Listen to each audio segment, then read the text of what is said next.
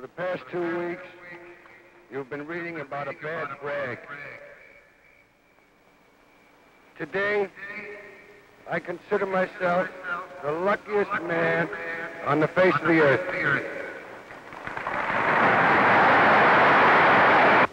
That I might have been given a bad break, but I've got an awful lot to live for. Thank you.